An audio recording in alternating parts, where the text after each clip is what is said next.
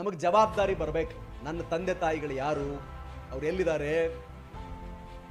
ಗುಡಿಸಲಲ್ಲಿದ್ದಾರಾ? ಬಾಡಿಗೆ ಮನೆಯಲ್ಲಿದ್ದಾರಾ? ನಮ್ಮ ಅಪ್ಪ, ಅಮ್ಮ ಕೂಲಿ ಕೆಲಸ ಮಾಡ್ತಾ ಇದ್ದಾರಾ? ನಮ್ಮ ಅಪ್ಪ, ಅಮ್ಮ ನನಗೋಸ್ಕರ ಕನಸು ಕಂಡಿದಾರಾ ನಮ್ಮ ಅಪ್ಪ, ಅಮ್ಮ ಊಟ ಮಾಡುವ ಮೊದಲು ನನಗೆ ಹೊಟ್ಟೆ ತುಂಬ ಊಟ ಹಾಕಿ, ಮೊಸರು ಮಾತ್ರ ನನಗೆ ಕೊಟ್ಟು ಸಾರು ಊಟ ಮಾಡ್ತಾ ಇದ್ದಾರಾ? ನನಗೆ ಮಾತ್ರ ಒಳ್ಳೆ ಯೂನಿಫಾರ್ಮ್ ಅನ್ನು ಕೊಟ್ಟು ಇನ್ನೂ ಹರಿದು ಬಟ್ಟೆ ಹಾಕ್ತಾ ಇದ್ದಾರಾ? ಕೂಲಿ ಕೆಲಸಕ್ಕಾಗಿ ನಮ್ಮ ಅಪ್ಪ, ಅಮ್ಮ ಬೆಂಗಳೂರಿಗೆ ಬಂದ್ರ? ನಾನೊಬ್ಬ ಅಧಿಕಾರಿ ಆಗಬೇಕು, ನಾನು ಆದಾಯ ಮಾಡಬೇಕು ಅಂತ ಕನಸು ಕಾಣ್ತಾ ಇದ್ದಾರಾ? ಆ ಅವಸ್ಥೆ ನಿಮ್ಮ ಮಾರ್ಗದರ್ಶಕನಾಗಬೇಕು. ನಿಮ್ಮ ಪರಿಸ್ಥಿತಿ, ಅದು ನಿಮ್ಗೆ ಆಗ್ಬೇಕು ನಮಗೆ ಯಾಕೆ ಸಾಧ್ಯ ಇಲ್ಲ?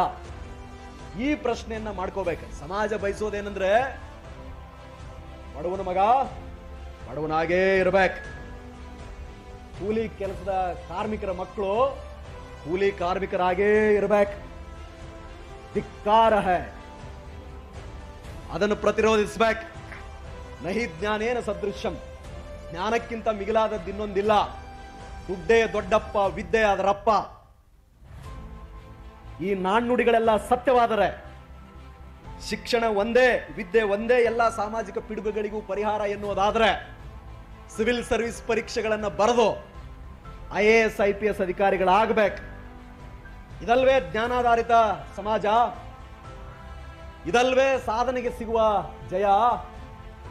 ಇದನ್ನು ಮಾಡಬೇಕಾದ್ರೆ ಹೊಸ ಬಟ್ಟೆ ಹಾಕಿದರೆ ಅಣಕಿಸೋರು ಇರ್ತಾರೆ. ಒಳ್ಳೆ ಊಟ ಮಾಡ್ಲಿಕ್ಕೆ ಆರಂಭ ಮಾಡಿದ್ರೆ ಇರ್ತಾರೆ. ಕಷ್ಟ. ಶ್ರಮ ಇದೆ ಅದರ ಹಿಂದೆ. ಅದರ ಹಿಂದೆ ಜತನ ಇದೆ.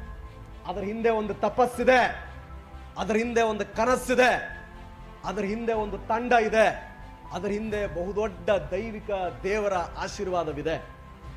ಸೊ ಹಾಗಾಗಿ ಆ ಎಲ್ಲ ಓರೆಕೋರೆಗಳ ಮಧ್ಯೆಯೂ, ಆ ಎಲ್ಲ ಸಮಸ್ಯೆಗಳ ಮಧ್ಯೆಯೂ ಸಮಾಧಾನವಾಗಿ, ಸಮಯಕ್ಕಾಗಿ ಕಾಯ್ದು ನಮ್ಮ ನಮ್ಮ ಭಗವಂತ ಕೊಟ್ಟಿರತಕ್ಕಂಥ ಅವಕಾಶಗಳನ್ನು ಉಪಯೋಗಿಸಿಕೊಂಡು ನನಗೆ ಸಿಕ್ಕ ಗೌರವ, ಶ್ರಮಕ್ಕೆ ಸಿಕ್ಕ ಗೌರವ, ಶ್ರಮಕ್ಕೆ ಸಿಕ್ಕ ಗೌರವ, ಇತರರೂ ಶ್ರಮಪಟ್ಟರೆ ಸಿಗಬೇಕು.